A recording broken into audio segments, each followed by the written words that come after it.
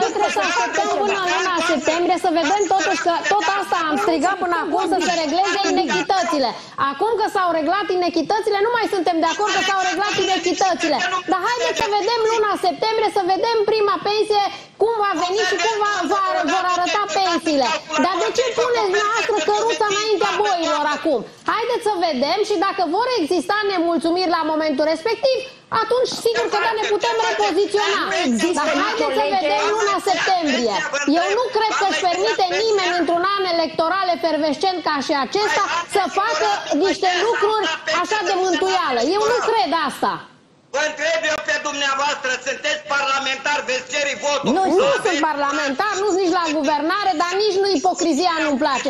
Eu știu că... în CAP și vor rămâne cu aceea pensie, nu vor primi un leu? Da, Vă da, duceți să cereți votul? odată. Da, dar ăia care au primit niște